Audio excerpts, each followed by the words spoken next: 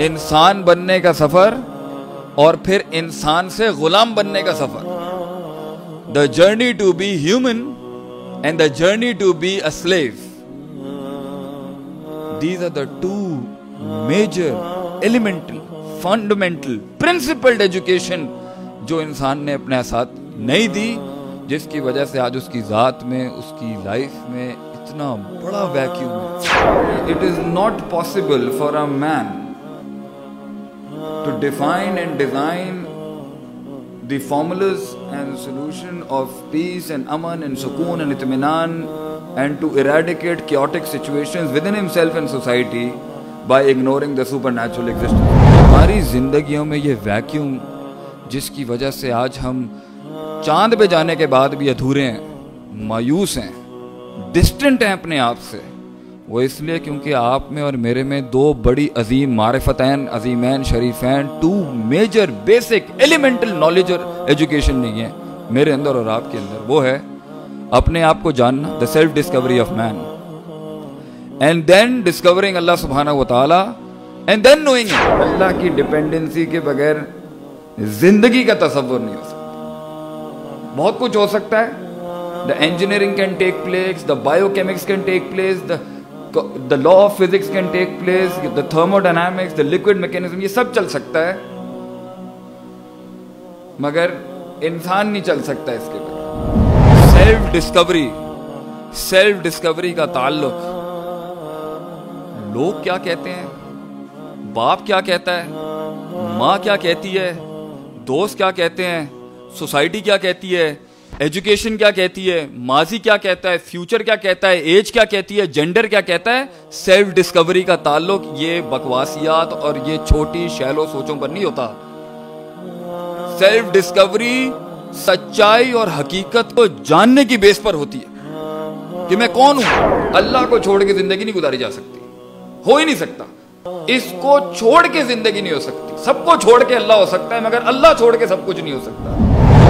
लेकिन अल्लाह का करम है कि अल्लाह किसी दिल के ऊपर अगर रहम करता है तो वो उसे इंट्रोड्यूस कराता है, पहले उसका आप उसको।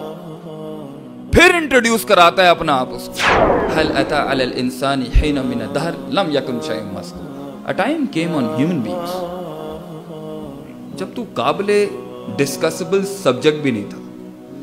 You were not a subject of praise you were not a subject of recognition you were not a subject of realisation you were not a subject of appreciation you were not a subject of praise so there are different categories of human perception and thoughts and mindsets and hearts and perceptual perceptional standings. एक तो वो है जो तकलीफ़ के आलम में भी अल्लाह को नहीं पुकारता।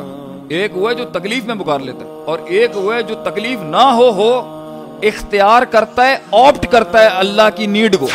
You don't have control over your heart आपका दिल आपके कंट्रोल में नहीं you don't have control over your doubts you don't have control over your desires you don't have control over your perception You don't have control over your ideology you don't have control over your love you don't have control over your emotions You don't have control over your fear, your hope, your trust, your tawakkul. Nothing is in your control because if it would have been under control, I gave you the natural sip of naturality मैंने आपको फितरत से जोड़ने की कोशिश की but yourself denied yourself yourself denied the truth हक या यू हन्नासन तमुल फकर इतने बड़े बड़े सफर तय करने के बावजूद भी इंसान अपने तक का सफ़र तय नहीं कर सका।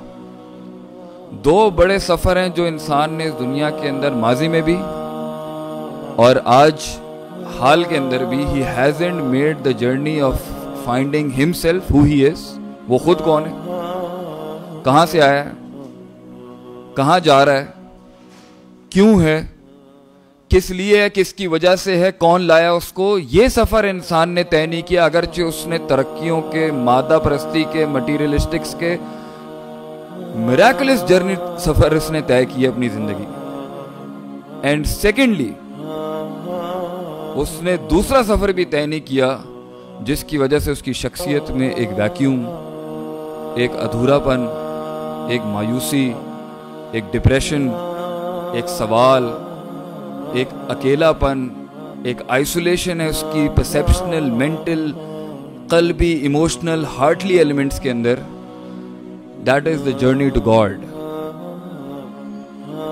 Allah तक का सफ़र नहीं तय किया और अपने तक का भी